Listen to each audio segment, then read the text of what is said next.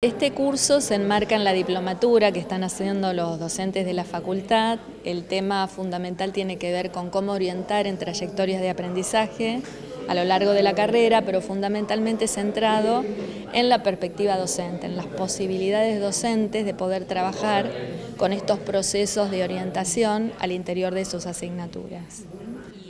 ¿En qué consisten estos procesos de orientación? Bueno, acá un poco lo que intentamos hacer es eh, traer algunos marcos teóricos, metodológicos para poder trabajar o pensar la orientación como un rasgo propio de la docencia, es algo característico, este, hoy lo, planteamos en las actividades del taller, el trabajar con procesos de brindar eh, acompañamiento, apoyos, ayudas, en el marco de las disciplinas, ¿no? Tradicionalmente siempre se vio esto como una función más que funciona, que va por fuera, que es propia tal vez de tutores que trabajan por fuera de las aulas y en realidad este, los giros este, que se vienen haciendo más desde una perspectiva sociocultural es pensar también la enseñanza vinculada fuertemente a la orientación y a brindar procesos de orientación eh, al aprendizaje de los estudiantes. Esto supone mirar los aprendizajes de los estudiantes, eh, pensar este, en la enseñanza y el aprendizaje como algo que dialogan,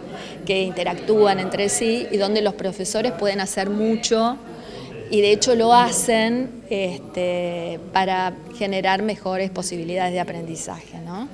Con estrategias específicas. Un poco lo que vamos a trabajar hoy son reflexiones, pero también poder encontrar qué estrategias didácticas son posibilitadoras de mejores aprendizajes. Justamente, además de este diálogo constante, ¿qué estrategias se pueden poner en marcha?